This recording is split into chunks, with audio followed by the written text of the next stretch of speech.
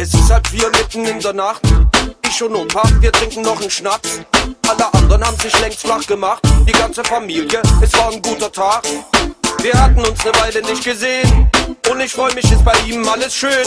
Ich hör zu und er ist am Erzählen. Wir denken nicht daran, schlafen zu gehen. Wenn Großvater erzählt, dann wird es spät.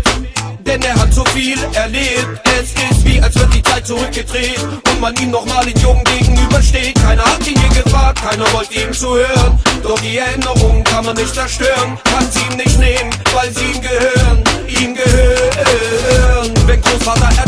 erzählt, er vom Krieg.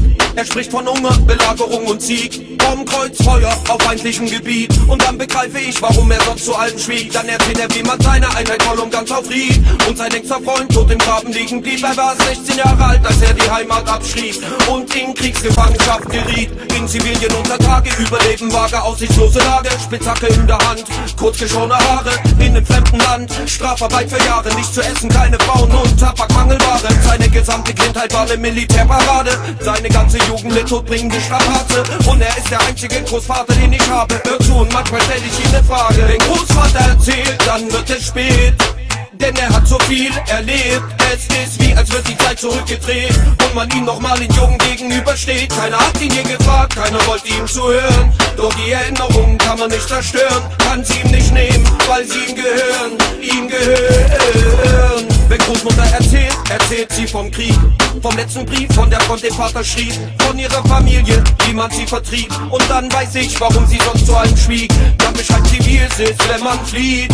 Alles verliert, die besten Freunde nie mehr sieht. Und wie jung sie war und gerade frisch verliebt. Damals stolz zu ihrem Freund auf Mond stieg. Sie kam vom Lande, sogenannte arme Leute, doch es. Früh auf Stehen und Feldarbeit war alles, was sie kannte.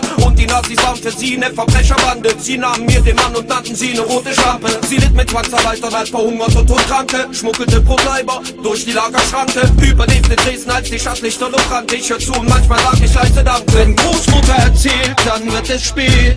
Denn sie hat so viel erlebt.